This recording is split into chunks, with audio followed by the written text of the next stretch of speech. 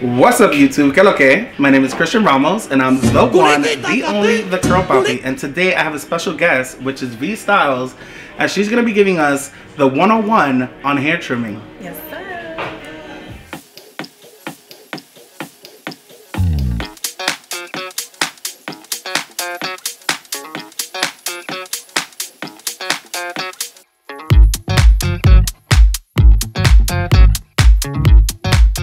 You are now watching The Curl Papi. So if you guys have watched any of my other videos, you would know that I mention this chick all the time because she is a master colorist and she's dyed my hair so many times and it has made my hair look super popping. So Vicky, tell us a little bit about yourself. Woo! Um, in regards to what, like how long I've been doing Yeah, how long have you been doing hair? Well, um, I've been doing hair for um, over 13 years. Wow, 13 years. Yeah. It's a long So, time.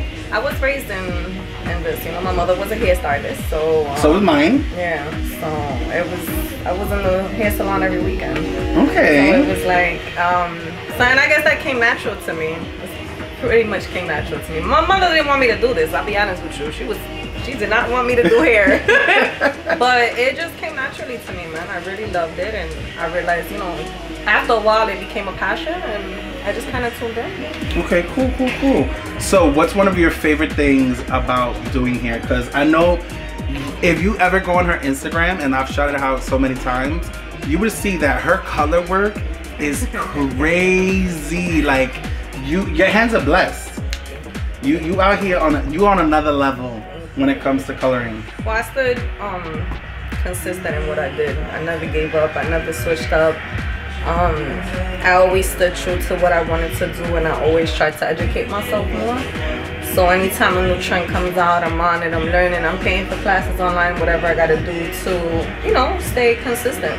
Okay. Um, but yeah.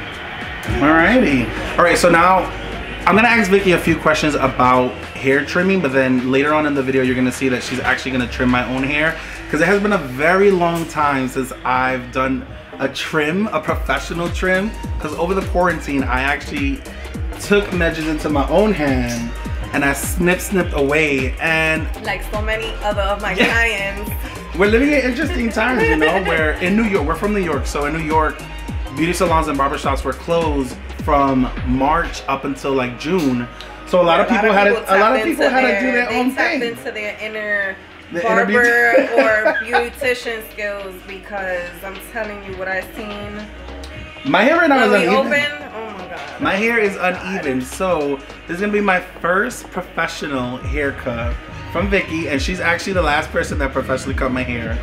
Um, so first and foremost, how often should people be trimming their hair? Um, my rule, I always say every weeks. Eight weeks. Every eight weeks. Okay. every two months. People are like, what? Every eight weeks? Every two months? Um, I have so many clients for the love of God. Like I really have so many clients that come to me. Um, long hair. I want to trim, but I don't want to cut too much, right? Mhm. Then I look at the hair and I'm like, oh my God, like you need to cut like four inches off. Yeah. So um, what I try to do is in those cases where I have girls that they don't want to cut a lot, I'll trim what's necessary without taking off too much length. Okay. Always throw in a good treatment. Um, I always recommend the Botox. You know, I stress that. Like, Yeah, you've been trying to get me to do the Botox for a while The too. hair Botox is that's that's another. We're gonna leave that for another episode. But literally, that is the best treatment that has come into the hair game, man. Okay. Seriously. So with that and trimming, that's the secret, honestly. Okay. And how you sleep too. And how you sleep too. People think, and I'm Well, like, oh, how you sleep. for people with, with curly hair, I always say that you should be sleeping at least with like, Like a silk a silk bonnet, bonnet. or, Or even like a a silk pillowcase. pillowcase, Yep. So just know that's She's the schooled ya. She put you on.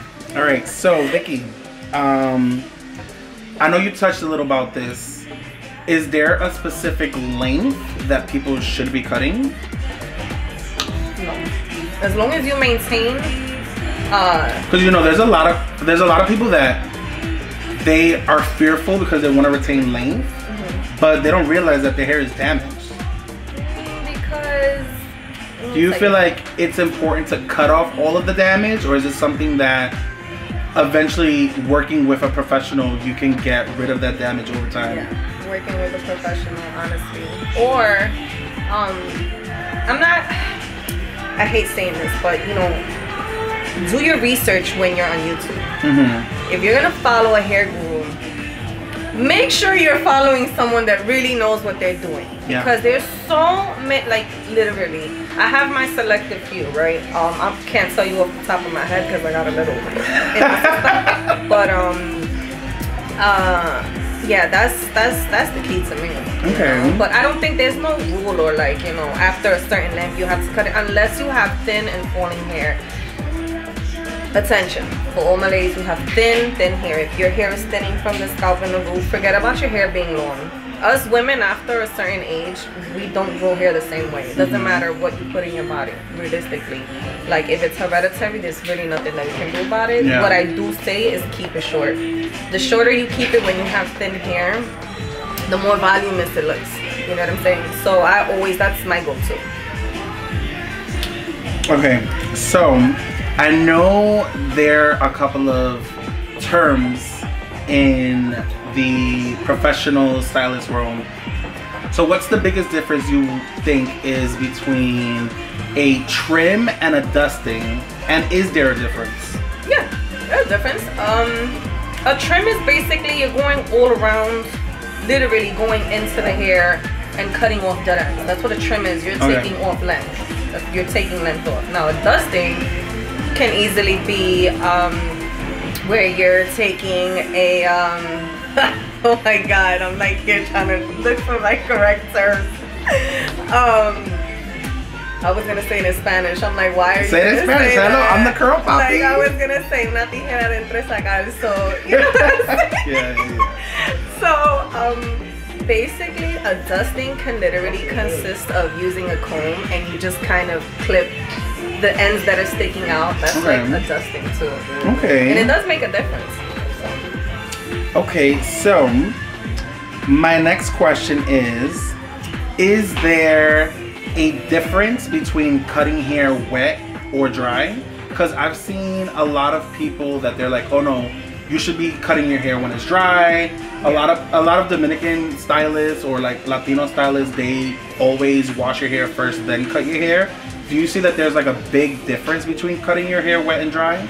My, I mean, I'm gonna be honest with you. Every hairstylist is different. Yeah. Literally, we all have a different technique of cutting. I got a lot of girls that sit in my chair and um, it's the texture of the hair for me. Okay. For me, it's the texture of the hair. So if you have like hair like mine, or um, you have straight dead hair, and you're coming in for a style or whatever, I'm gonna cut it dry because I really want to see the detail in the cut versus wet because I can't really see detail Okay. in the hair. Um, now for my curly heads, I like to cut it wet. Okay. Versus a lot of these curly hair salons, they'll give you a curly cut and your hair is dry. Yeah. Uh, I feel like I when a lot of I'm sorry don't- to cut you off, but I feel like when a lot of people cut their hair dry, you're not cutting it even. I, I that curly cut Yeah. that they're doing now, I don't like it. I mean, if I I say it, I don't like it because, well, I say I don't like it for my clientele because I have a lot of curly heads that still come in and do rollers Mhm. and want the wash and set, you know, um, and it doesn't look cute. It does Yeah. not look good. So I, for my curly girls, I give them literally. I like to call it the fire faucet. I give them the fire faucet seriously because when they curl their hair, when their hair is curled, it looks so nice. Like Mhm. literally, it falls the way that you know they wanted the French bang and all that stuff. But yeah, there's a big difference between cutting it wet. Okay. What do you uh do you have a preference? No, it depends. It really Client. depends on the client. Yeah. Okay. Yeah. Um so how can you tell not obviously you're you're a professional, but how can someone that is not a professional tell if they have split ends? Oh, you're gonna have breakage. Literally, your ends are they're just gonna like fall off. Okay. um, your hair's gonna forever be tangled. It's gonna get tangled a lot at the ends. And when you wash your hair and let it air dry, if your tips is the first thing to dry up, they gotta go. Cause it's literally, it's like I tell people when your ends are dead, Can you revive a dead person after 30 minutes? Like, no, you can't. Like, they're fucking dead. Yeah. Let it go. Cut them off. Like, let go. it So, that's just real shit. Do, do you feel like split ends contribute to a lot of hair breakage? yeah. Okay. Look at it, think of it like a rope. Think of it like a rope. Where something's hanging heavy on a rope, on a threaded rope, put it like that. And if it starts breaking, what happens eventually? It keeps breaking, it keeps Yeah. breaking until it completely, you know, yeah. it, it the whole thing will be fucked up. But um, yeah, Would you say the best way to prevent split ends is to make sure you're like consistently getting a trim? trim them every two damn week, every every every two months. Every two What are you months. every two months, every eight weeks, man. Just Yeah. go in for a quick little trim. You don't even, you know, I tell all my girls this all the time because it's important. Okay, let me go through my questions because I wasn't prepared. I'm a little nervous and we're drinking a little bit. Uh, okay, what do you feel about people that take matters into their own hand? Like someone like me that was cutting their own hair during the closure of businesses. Is there a technique or like like I don't know, like is there a way that they should be cutting their hair or should they just wait until they are able to get Take with a your ass professional? to the salon. That's it. Just go. If you don't know what you're doing, Yeah. leave it alone. That's what I'm saying. I mean, you can, because I've had a couple of girls come in here and they trim it down. I'm like, okay. Yeah. And I, I have a few know, friends that like do their own. They trim their own hair. Um, I don't know how good it is because they're obviously like curly girls. So I know when a, a lot of curly girls do like to transition to straight hair. Yeah. That's when you can really tell if they fucked up or not. Yeah, yeah, yeah. But, um, yeah. I mean, Okay. hey. One last question about like the the the formality of this video. Um, you were one of the people that took a risk and opened up their business while we were in the middle of a pandemic and things were closing. Um, what do you feel attributed to you wanting to take that risk? And then also, how have things been going? Ooh. Um. Wow. This this happened during quarantine. Like Yeah. this idea came about during quarantine, and um, you know, my business partner when he reached out to me, you know, and basically he was like, "Big, like, this is the idea I have, and I need you on board." You know, it took a long time for me to think about it Yeah. because there was a lot, you know, in the mix besides COVID. But um, what did I have to lose? Yeah. I didn't have nothing to lose, and this was something that all my clients were like dying for me to do. You know, I feel like everybody was just waiting, Yeah. waiting for it to happen. I was one of them. I was like, I Vicky, closed my eyes and I said, you know what? going. Just fucking do it, bitch. Yeah. Fuck everything. Like, just F it. And I put, you know, I got lucky. I got a dope ass business partner. Um, that's about his business. You know, he's as serious about this as I am, so which is why it worked. Um, and I gotta say, I've been blessed, man. Since this quarantine, I've really been blessed. I've received so much support Yeah. so much love. Um, I don't even want to get into it because I get emotional, but um, No, but that's yeah, good, though. It's, it's been good. It's been Like the risk has paid off. Yes, definitely. Like the me double thinking it a lot. Like I don't even know why. I'm like I should have just been like yeah, after let's do it, you know. But um, yes, the best thing that happened to me, honestly. Okay, okay. So I know a lot of people that you know can't say the same. I know a lot of salons that are struggling. I know a lot of salons that are now closed. You know, three days. Well, look at my mom. Like after 35 years, she had to close her spot, crazy. and it was it had more to do with the landlord more than anything. Yeah. But you know, thank God she was able to like find a spot that was right next to where she Yeah, was, I and you know, was like so blessed with this because my business partner was already here Yeah. for like over 10, 15 years. He was already working here. So to Mhm. go from that to bump up now, you know, he runs this and he's like, Yo, I need you. Like, yeah. we need to make this happen. Nice. And I was like, fuck it, you know? But yeah, so far. little by little, you know. little by little. well, now we are going to get into the portion of Vicky doing my hair. Uh, I'm also going to be asking her questions about her favorite products to use with her curly hair clients. Uh, so stay tuned. We're going to get right into that.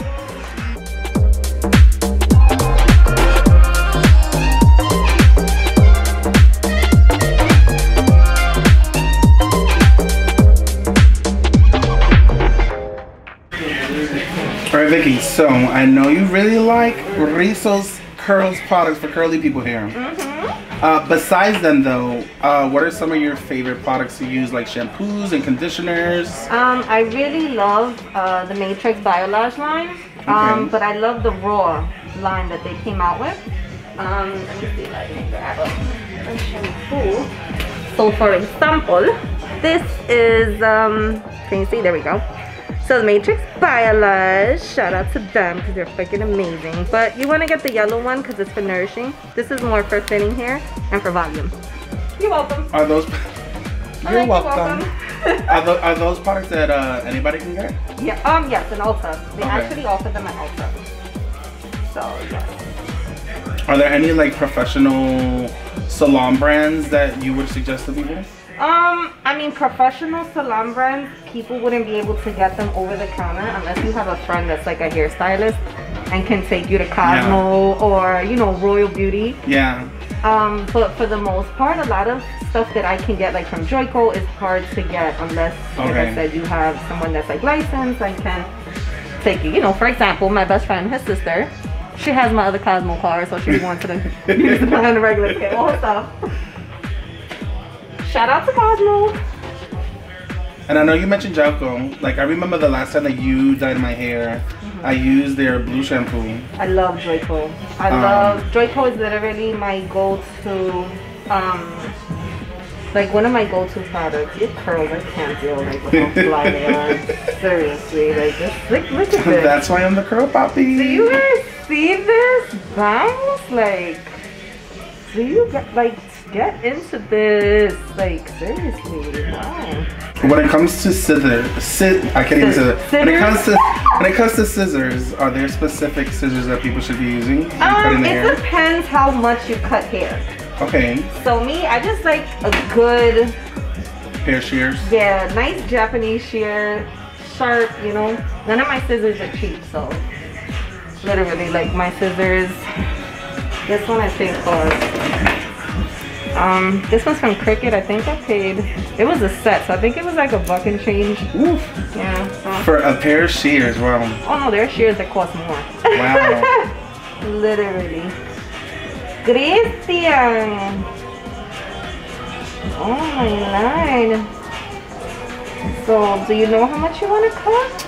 So if it were up to me, just the ends. That's that's good, yeah. Nothing, cause I wanna. I'm trying to like grow it out longer. Okay.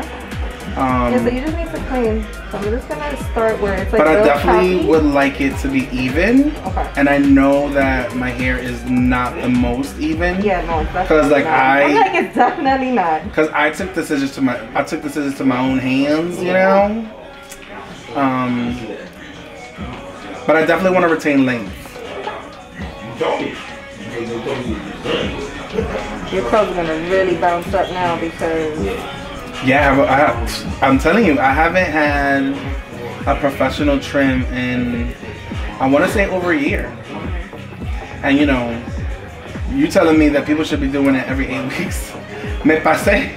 Oh no, I have Ah, people that are like, oh, beyond- I, haven't, I haven't cut my hair in a year. What? This is how? Would you say that I have a lot of split ends or no? Um, dry, yeah, but I wouldn't say split. See? Dry. That, like, literally. Because it's nothing breaking. Uh huh. Like, I combed your hair, you didn't have not even a strand sticking out.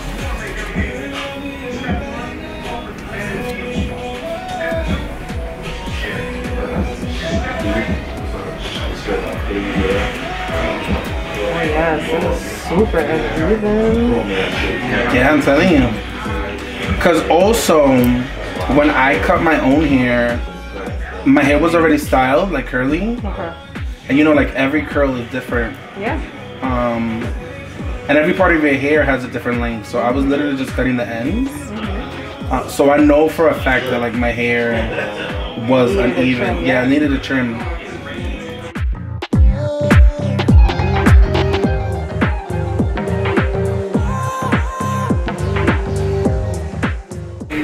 Do you find there's a difference between um, men's and women's hair? Like cutting Um, men's and women's hair? Uh, hmm, it depends. Or it just depends more on like the hair health? Yeah, like it, like for men, it's like for my man bun males. Um, yeah, you gotta treat your hair the same way women treat their hair. You gotta trim it. You gotta do the treatments. You know, women are not the only ones that are gonna do that. As a man, if you have your hair long, you gotta make it your business to treat it and take care of it. My brother, he went through that. My brother used to have his hair long. He felt like because he was a guy, I don't know what his he thought his hair was any different from mine that he didn't have to trim it. And um, I used Yeah, to, but your brother done a lot of crazy stuff with his yeah, and I would bleach it. You know, I was always doing crazy colors on him. Mm-hmm. and I kept telling him, cut your hair, trim it, trim it, trim it, because if not, it's going, it's gonna crack, it's gonna break. It's not gonna resist, you know, the color anymore. Yeah. And what happened was exactly what I said, and he didn't listen. You know. I feel like for men, they feel like it's too much maintenance to do like the deep conditioners. Yeah, of course, but you know, it has to be done in order for you know your hair to look decent. Because you're a guy, that doesn't mean you know you can't trim or do treatments. But now he knows that after he cut it. He had a lot of hair. Yeah.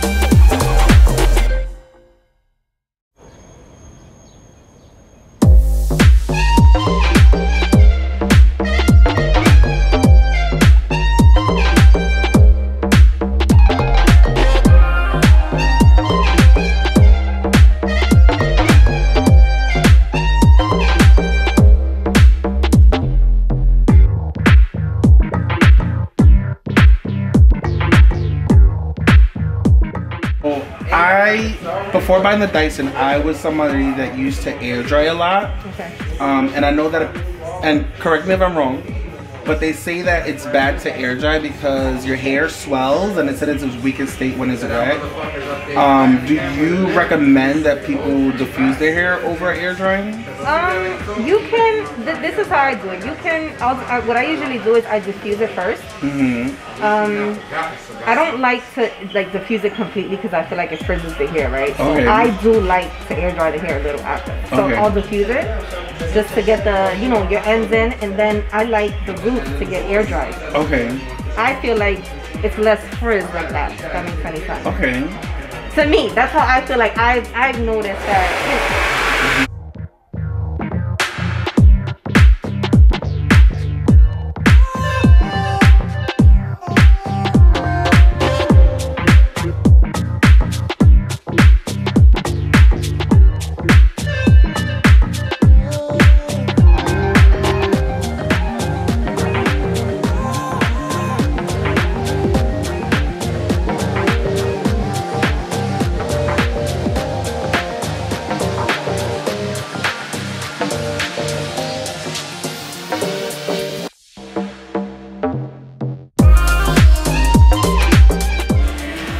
So much, Vicky, for giving us the 101s of hair trimming your hair and actually trimming my hair. Yes. Uh, where can people reach you at?